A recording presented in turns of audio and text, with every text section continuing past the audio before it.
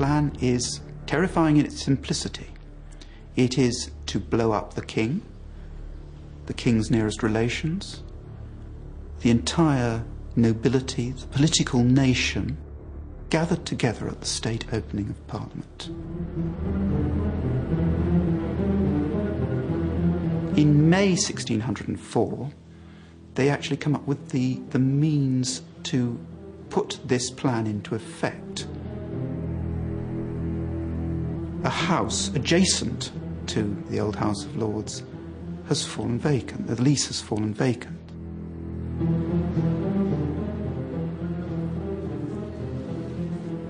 It was Thomas Percy, newly appointed to the King's bodyguards, who secured the lease on the apartment.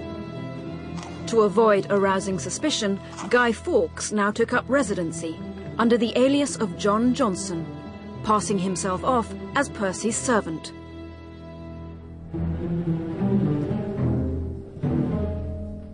Because he had been out of the country for 10 years, he was unknown in the small world that was Jacobean London. And that's always important. If you're um, planning treason, you need someone who can walk about the streets without arousing attention or suspicion.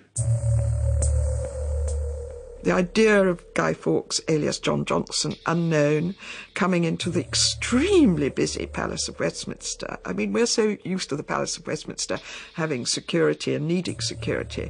Uh, we have no idea. It was like a sort of commercial rabbit warren, uh, merchants and wine sellers and all the rest of it.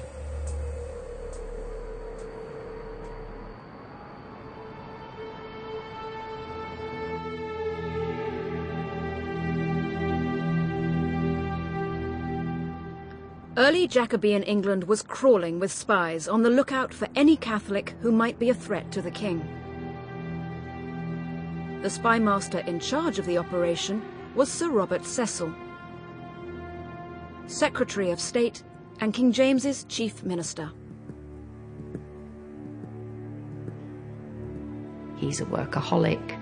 He has virtually no life except for his professional life and he'd already had long service under Elizabeth, so here's a very experienced senior bureaucrat. And across Cecil's desk comes a tremendous miscellaneous range of information. You get what the modern mind recognises immediately as the Nutter letter, and he gets a lot of those. But he also gets anything that might be regarded as unnerving or unsettling. And there's all sorts of bits and pieces that he's getting about increasing Catholic disaffection. Much of it wrong in detail, but adding up to a feeling that something is moving somewhere.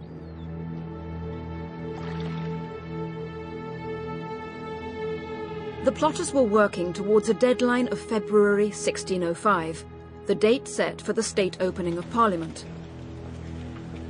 But then, circumstances changed when Parliament was prorogued, postponed for eight months.